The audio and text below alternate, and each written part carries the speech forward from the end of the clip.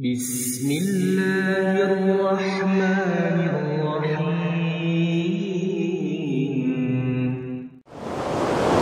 Assalamualaikum warahmatullahi wabarakatuh. Kaum muslimin dan muslimat di mana pun anda berada, di antara amalan hati yang hendaknya kita usahakan, yang hendaknya diusahakan oleh seorang muslim adalah senantiasa husnudon kepada Allah Senantiasa berbaik sangka kepada Allah Azza wa Jal Karena hal inilah yang diperintahkan oleh Rasulullah sallallahu alaihi wasallam dan diperintahkan pula oleh Allah Azza wa Jal. Allah taala berfirman, "Wa ahsinu innallaha yuhibbul muhsinin." Dan berbuat baiklah sesungguhnya Allah taala menyukai orang-orang yang berbuat baik. Ibnu Jarir di dalam tafsirnya belum menafsirkan ayat ini membawakan perkataan Ikrimah. Maksudnya adalah wa ahsinu dhanna billah. Maka maksudnya adalah berbaik sangkalah kepada Allah. Sesungguhnya Allah taala menyukai orang-orang yang berbaik sangka. Dalam hadis qudsi Allah azza wa jalla juga berfirman ana inda dhanni abdi bi saya kata Allah azza wa jalla sesuai dengan prasangka hambaku kepadaku. Indan nabi khairan falah. Jikalau hambaku berprasangka baik kepadaku, maka baginya kebaikan. Wa indan syarran falah. Maka jikalau hambaku berprasangka buruk kepadaku, maka baginya pula keburukan.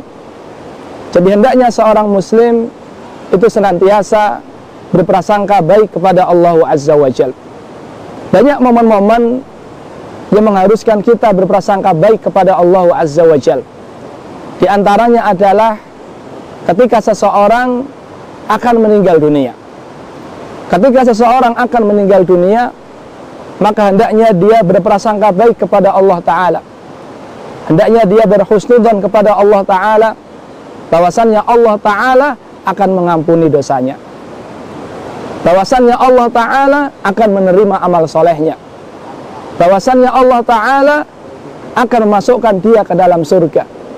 Bahwasannya Allah Ta'ala akan menyelamatkan dia dari api neraka. Siapa yang berprasangka baik ketika hendak meninggal dunia maka Allah Ta'ala pun akan memperlakukan dia dengan baik ketika dia telah meninggal dunia tapi sebaliknya Ketika seseorang berprasangka, berprasangka buruk ketika mau meninggal dunia, dia menganggap bahwasannya Allah tidak mengampuni. Dia merasa bahwasannya Allah Ta'ala tidak akan masukkan dia ke surga. Timbul prasangka-prasangka buruk seperti itu, maka Allah Ta'ala akan memperlakukan dia dengan buruk juga.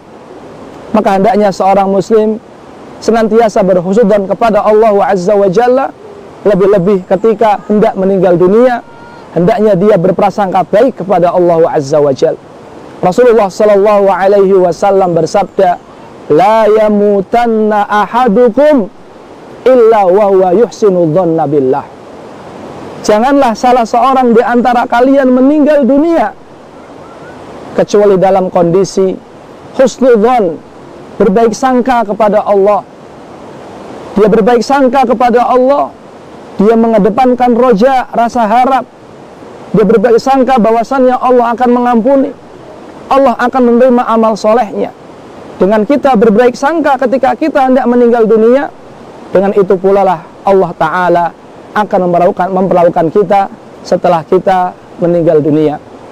Maka sebagai penutup, marilah kita perbaiki amal soleh kita, perbanyak amal soleh kita, kita bertaubat kepada Allah Azza wa Jal, agar kelak ketika kita hendak meninggal dunia, kita bisa berprasangka baik kepada Allah, kita ber, bisa berhusudan kepada Allah, sehingga Allah Ta'ala pun akan memperlakukan kita dengan baik. Hada wa sallallahu ala nabiyyina Muhammadin wa ala alihi wa sahbihi ajma'in. Assalamualaikum warahmatullahi wabarakatuh.